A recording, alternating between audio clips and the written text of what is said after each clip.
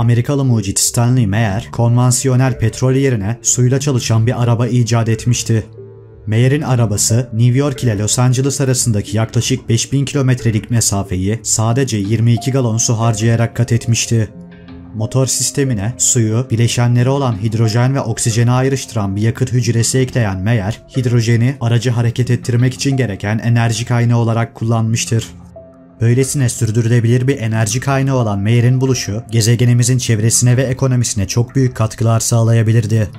Eğer çalışmasının spesifikasyonlarının bütün ayrıntılarının yayınlanmasına izin verilseydi, bugün hepimiz bu teknolojiyi kullanıyor olabilirdik.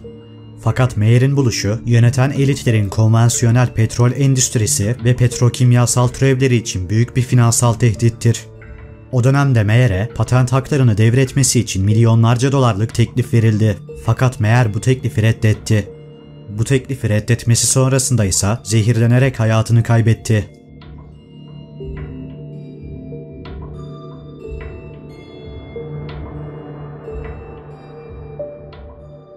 Liggett firması tarafından 1980'lerde tüm kanserojen maddelerden arınmış sigara yapmayı başardıkları açıklandı.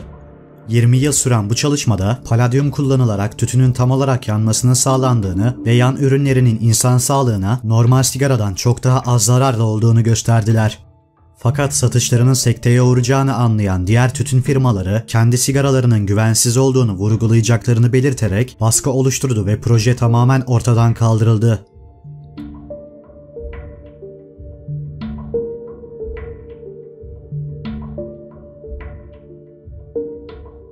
1950'li yıllarda Wilhelm Reich yağmur yapıcı adını verdiği bir cihaz geliştirmiş ve başarıyla yağmur yağışını gerçekleştirmişti. Kuraklık çekilen bölgelerde yağmur bulutları oluşumunu sağlayan bu çalışan mekanizma dünyayı idare eden güçler tarafından durdurulmuştur. Böyle bir cihazın kullanılmasına izin vermek, yiyecek bolluğu ve dünyadaki açlık tehlikesinin tamamen ortadan kalkması anlamına gelmektedir. Fakat bu güçler açlık tehlikesinin ortadan kalkmasını istememişlerdir. Eğer böyle bir şeye izin verilseydi, 3. dünya ülkelerinde yaşayan insanları kontrol etmek imkansız hale gelebilirdi. Dünyayı idare edenlerin gizli kölelik yaklaşımı ve gündemlerini hatırlayın. Sonuç olarak Wilhelm Reich bu güçler tarafından engellenmiş ve yağmur yapıcı cihazı nedeniyle dolandırıcılık ve insanları aldatmayla suçlanmıştır. Donanımına el koyulmuş ve tahrip edilmiştir. Wilhelm Reich son günlerini ise kalp krizi nedeniyle öldüğü iddia edilen bir hapishanede geçirmiştir.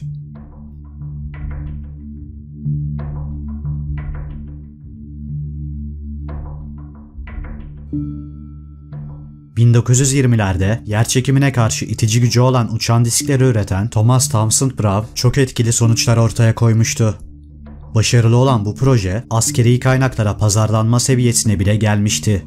1929 yılında yer çekimine nasıl hükmediyorum yazısını Bilim ve Keşif adlı kitabında yayınladı. Bu kitabında kondansatörlerin yer çekimine karşı gizemli bir kuvvet yarattığını anlatıyordu. Gelecekte bu buluşuyla yapılabilecek keşifleri planlarken çoklu çekim iticileriyle yüz binlerce tonluk gemilerin okyanuslar üzerinde sürtünmesiz olarak hareket ettirilebileceğini hatta daha o dönemde uzay arabalarıyla Mars'a yolculuğu mümkün kılabileceğini söylüyordu. Ancak bu icat bir şekilde ortadan kaybedildi ve insanlıktan gizlendi.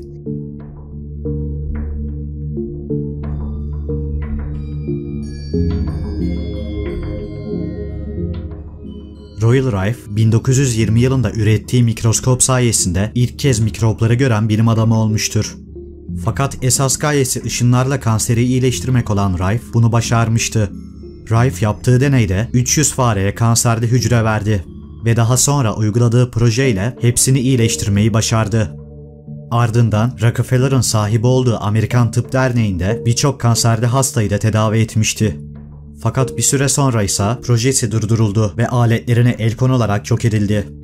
Tedavisi bulunmasına rağmen günümüzde kansere yakalanmış milyonlarca insan bulunmakta ve bu insanlara ilaç firmaları tarafından her yıl yaklaşık 110 milyar dolarlık ilaç satılmakta.